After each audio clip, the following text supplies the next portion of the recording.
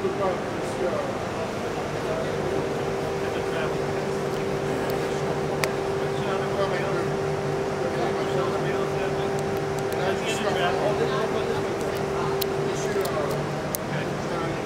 Satoshi's camera?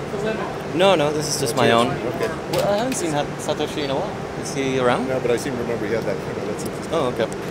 That's uh, R, uh, R1 or something? Or? No, it's uh, A7. Oh, okay. It's a Sony Got it. No, he had the R1, R1. the Okay. full frame fixed lens camera.